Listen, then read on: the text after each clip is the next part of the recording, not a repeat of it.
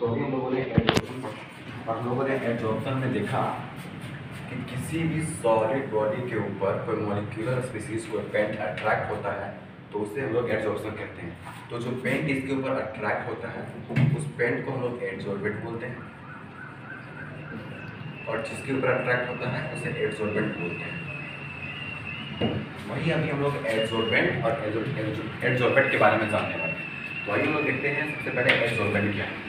तो बोल रहा है the solid body which attract the molecular species on the solid body. बोल रहा है कि वह सॉलिड बॉडी जो मॉलिक्यूलर स्पीसीज को अपने ऊपर अट्रैक्ट करता है।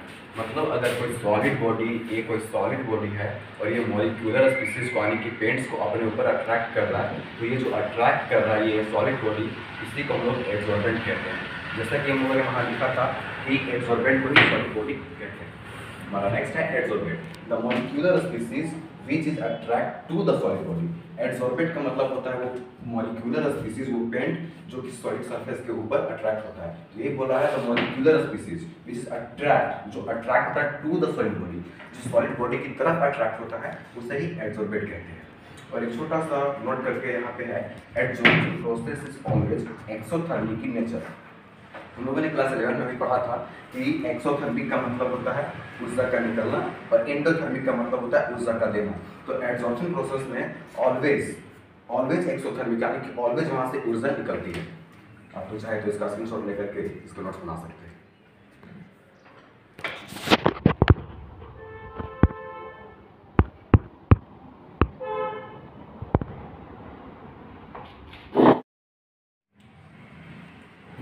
हम लोगों ने भी एडजॉर्प्शन के साथ साथ एड्सॉर्बेट और एड्सॉर्बेंट का डेफिनेशन देखी अब हमारा नेक्स्ट डेफिनेशन है एब्जॉर्प्शन अभी हम लोगों ने कुछ देर पहले पढ़ा था एडजॉर्प्शन अब हम लोग पढ़ रहे हैं एब्जॉर्प्शन तो एब्जॉर्प्शन क्या बोलता है? In the case of absorption यानी कि एब्जॉर्प्शन के केस में molecular species attracted to the inside of the solid body हम लोग एड्जॉर्प्शन में पढ़े थे कि जो मॉलिक्यूलर स्पीसीज है, वह सॉलिड बॉडी के ऊपर अट्रैक्ट होता है।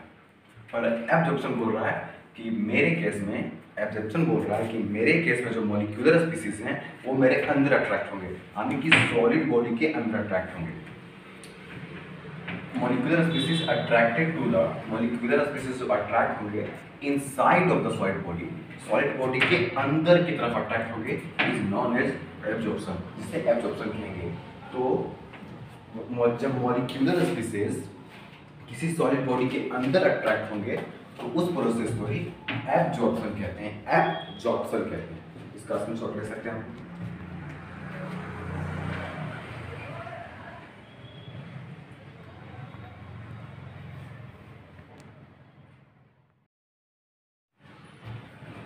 अब हमारा एब्जॉर्प्शन के बाद नेक्स्ट डेफिनेशन है सॉर्प्शन वही अब सॉर्प्शन के बारे में क्या सॉर्प्शन क्या कह रहा है, अपने बारे में उसके बारे में देखते हैं। तो सॉर्प्शन बोल रहा है in the case of sorption sorption के केस में absorption and absorption takes place simultaneously sorption बोल रहा है कि मेरे केस में जो एब्जॉर्प्शन और एब्जॉर्प्शन होंगे, वो दोनों एक साथ मुझमें अट्रैक्ट होंगे।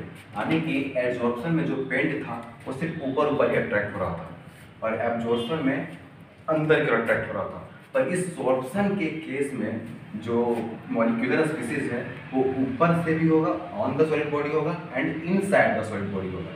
जैसे एग्जांपल में आप देख सकते हैं adsorption plus absorption is equal to sorption यानी कि एडजॉर्प्शन और एब्जॉर्प्शन जब मॉलिक्यूलर स्पीसीज को एक साथ अट्रैक्ट करेंगे साइमल्टेनियसली का मतलब होता है एक साथ। जब एक साथ अट्रैक्ट करेंगे adsorption and absorption takes place simultaneously is known as sorption जब भी किसी सॉलिड बॉडी पर एडजॉर्प्शन और एब्जॉर्प्शन एक साथ एक साथ अट्रैक्ट होंगे तो उसे बोलेंगे sorption adsorption plus absorption is equal to sorption next है डिसऑप्शन डिसऑप्शन बिल्कुल सॉर्प्शन का ऑपोजिट है.